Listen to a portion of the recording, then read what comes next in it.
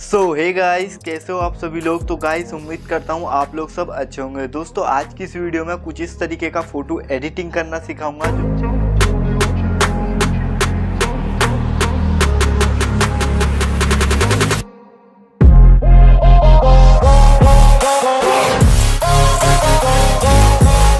Guys आप कुछ इस तरीके का फ़ोटो एडिट कर सकते हैं ऑटोडेक्स एप्लीकेशन के अंदर। तो दोस्तों, आपको मैं कुछ ऐसे पाँच ऐसे बुर्स बताऊँगा जिससे कि आप अपने फेस को बहुत ही अच्छी तरीके से स्मूथ कर सकते हैं कुछ इस तरीके का। और गाइस लाइट रूम एप्लीकेशन के अंदर आपको मैं बताऊँगा कि आप अपने बैकग्राउंड का कलर चेंज कैसे कर सकते हैं कुछ इस तरीके का। तो यार, यही अगर आपको सीखना है तो वीडियो को बने रहिए एंड तक। तो गाइस चलिए हम चलते हैं अपनी मोबाइल की होम स्क्रीन पर। तो गाइस हमारा जो फ़ोटो है कुछ इस तरीके का है जो कि मैंने एडिट करके बनाया है और ये हमारा रियल फ़ोटो है जो कि इसे मैं बनाकर आप लोगों को दिखाने वाला हूँ। देख सकते हैं कुछ इस तरीके का मैंने बना दिया है। तो सिंपल सा आपको क्या करना है, अपने फ़ोटो को शेयर करना है स्नैपसीड एप्लीकेशन के अंदर। आप कोई सा भी फ़ोटो शेयर कर सकते हैं। तो मैं इसे फटाफट कर लेता हूँ स्नैपसीड एप्लीकेशन के अंदर। तो यार मैं यहाँ पे आ चुका हूँ स्नैपसीड के अंदर अपने फ़ोटो को लेकर। तो देख सकते हैं कुछ इस तरीके का फ़ोटो है हमारा। तो सिंपल सा आपको क्या करना है, इस पेंसिंग वाले आइकन पर क्लिक कर देना है। तो जैसे ही आप इस पर क्लिक करोगे तो आपको यहाँ पर बहुत सारे टूल्स दिखाए जाएँगे, ठीक है? तो आपको टूल्स इमेज पे आपको क्लिक कर देना है। तो जैसे आप इस पर क्लिक करोगे तो यहाँ पर कुछ ऐसा इंटरफेस दिखाई देगा, ठीक है? तो इस लाइन को आपको आगे पीछे करना है। जितनी मैं सेटिंग यहाँ पर रख रहा हूँ इसकी करके आपको बिल्कुल इतना ही करना है, ठीक है? इसको करना है कम से भी कम उनतालीस उनतालीस, चालीस या बयालीस, इतने की लपेट में आपको रखना होगा, ठीक है? तो आपका जो फेस होगा वो बहुत ही अच्छी तरीके से एचडी में बन जाएगा, ठीक है? आप लोग देख सकते हैं। तो आपका कुछ ऐसा हो जाएगा ताकि जो आप फेस स्मूथ करोगे तो बहुत ही अच्छी तरीके से हो जाएगा। तो इसके बाद आपको इसे सेव कर लेना है। तो सेव करने के बाद फिर आपको दोबारा पेंसिल वाले आइकन पर सिंपल सा क्लिक करना है, ठीक है? तो मैं जल्दी से कर लेता हूँ उस पर क्लिक तो इस वाले आपको ऑप्शन पर आपको क्लिक करना है। ये उसका काम करता है। अगर आपके फेस पर ब्लैक आ रहा है तो वो आप हाईलाइट डालकर वो सफ़ेद कर सकते हो। यानी कि गोरा कर सकते हो अपने फेस को, ठीक है? तो कुछ इस तरीके से दोनों फिंगर लगाकर इस रेड को वहीं पर लगाना है, जहाँ पर आपके फेस पे या फिर कहीं पर भी ब्लैक ब्लैक आ रहा है, ठीक है?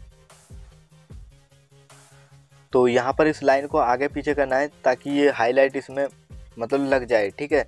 तो इतना करने के बाद आपको सेव कर लेना है, और सेव करने के बाद मतलब इतना ही काम करना है आपको स्नैपसीड के अंदर। तो आपको फिर क्या करना है, आपको सेव वाले ऑप्शन पर सिंपल सा क्लिक करना है और आपको इसे शेयर कर लेना है ऑटोडेक्स एप्लीकेशन के अंदर। तो अगर आपके फ़ोन में है तो कोई दिक्कत नहीं है, अगर नहीं है तो मैंने डिस्क्रिप्शन में लिंक दे दिया हूँ, आप वहाँ से भी डाउनलोड कर सकते हैं, ठीक है? तो चलिए मैं इसे फटाफट शेयर कर लेता हूँ ऑटोडेक्स एप्लीकेशन के अंदर।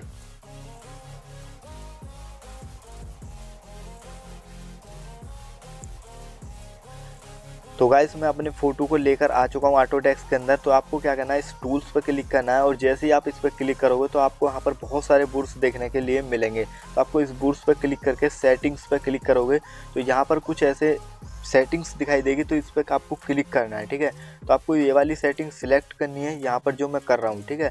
और यहाँ पर आप इसका स्क्रीनशॉट भी लेकर रख सकते हैं, जितना मैं यहाँ पर सेटिंग करूँ तो उसका आप स्क्रीनशॉट ले लेना, ठीक है? तो इस लाइन को आपको तीन रखना है, और सबसे लास्ट के उसे पाँच और इसको सत्रह, ठीक है? साइज़ है, या आप कितना भी रख सकते हैं, ये आपके ऊपर डिपेंड करता है, क्योंकि ये साइज़ है, ठीक है? तो चलिएगा इसमें अब इस फेस को क्या करते हैं, आप अपने फेस को मतलब जूम करना है और कुछ इस तरीके से फेस पे मतलब फिंगर को घुमाना है, ठीक है? धीरे धीरे घुमाइएगा, नहीं तो आपका फेस बेकार हो गया हो जाएगा अगर आप ज़्यादा जल्दी करोगे तो। आप लोग देख लीजिए कि मैं कितनी तेज़ कर रहा हूँ तो आप लोग बिल्कुल बहुत ही मंदी मंदी करना, क्योंकि मैं अब वीडियो की स्पीड बढ़ा दूँगा, क्योंकि वीडियो बहुत लंबी हो जाएगी तो यार देखने में बोर भी लगेगी, ठीक है? तो इसलिए आप बहुत ही धीरे धीरे करिए, अगर आपके पास टाइम है तो ही फ़ोटो एडिटिंग करना, अगर आपके पास टाइम नहीं है बिल्कुल भी तो आप फ़ोटो एडिटिंग मत करना, आपको जो टाइम मिले, जब ही रख, जब ही करना, ठीक है? क्योंकि जो फेस जो है, वो एडिट हम करते हैं तो जब ही करना है, जब हमें थोड़ा टाइम रहता है, ठीक है? ये फुर्सत का काम है।